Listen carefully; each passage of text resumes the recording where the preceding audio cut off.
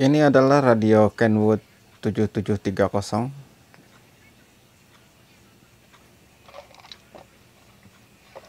Tidak ada baut satupun di tutupnya. Oke, kita on-kan saja. Frekuensinya keluar.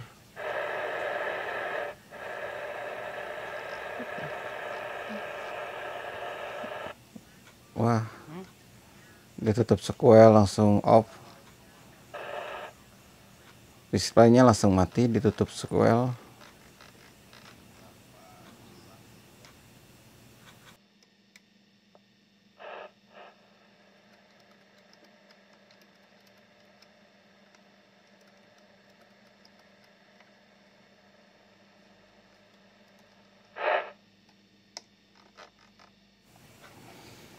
ya sudah kita bongkar saja.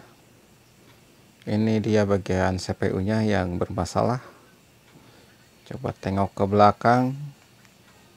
Panel sudah tidak ada.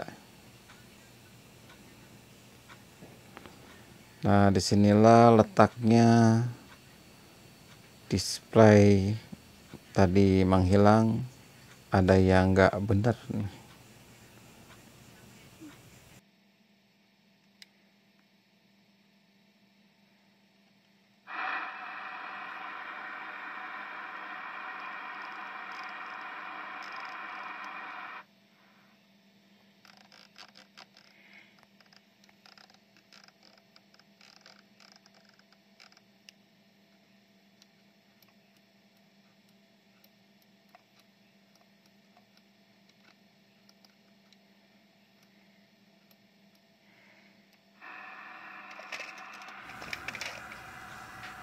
Oke, di 400 ini sudah di jam.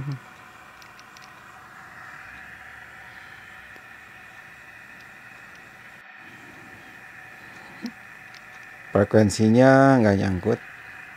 Mungkin karena CPU nya error.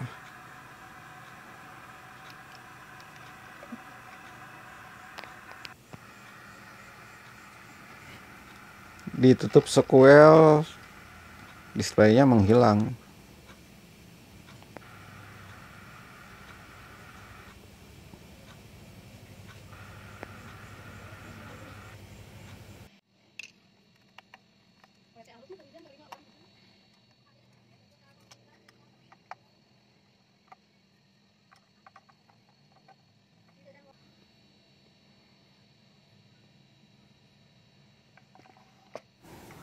kita akan coba untuk menyolder ulang bagian CPU-nya. Di sini terlihat ada yang agak retak-retak solderannya.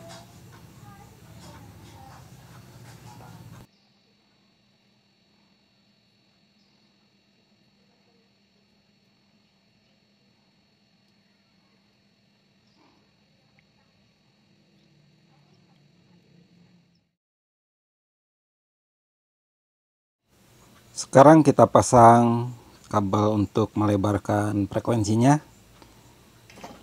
Nah yang satu diganjal sama dioda ya.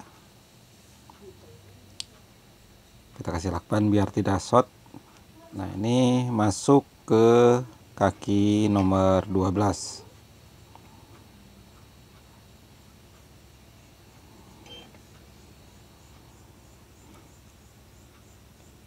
tutup lagi biar aman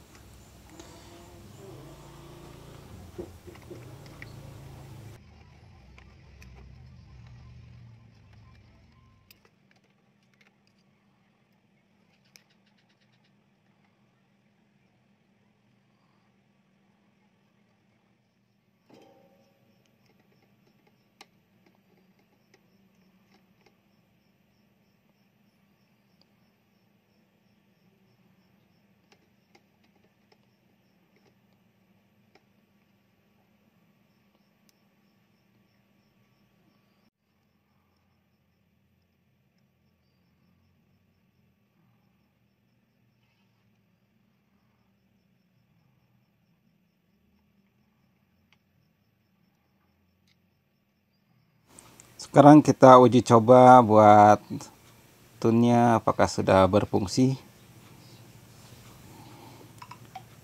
Oke kita putar rotorinya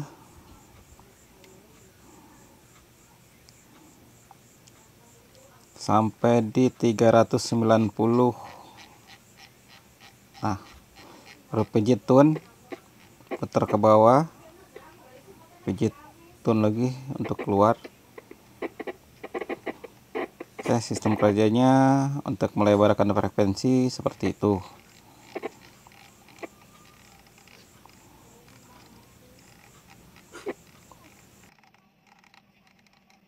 Kadangu Mang Beno.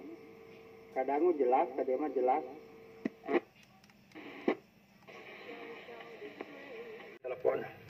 Nah, Mama Uca, Haji Uca, Mama.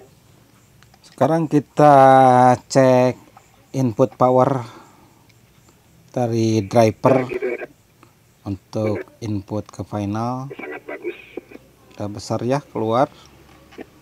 Lihat di RF meter.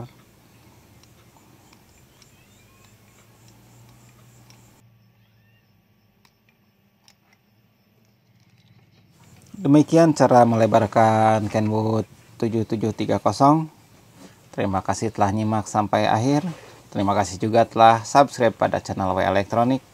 Saya ucapkan semoga lancar rezekinya, sehat selalu, dan tentunya dimudahkan segala kerjaan dan keinginannya. Amin ya rabbal alamin. Sampai jumpa di video berikutnya. Wassalamualaikum warahmatullahi wabarakatuh.